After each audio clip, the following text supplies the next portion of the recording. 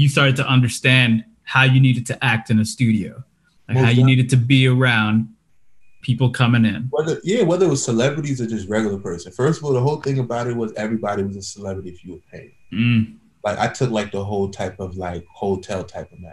Mm. Like if they're paying, obviously you're somebody. Yeah. Whether they're a celebrity or not, they paying.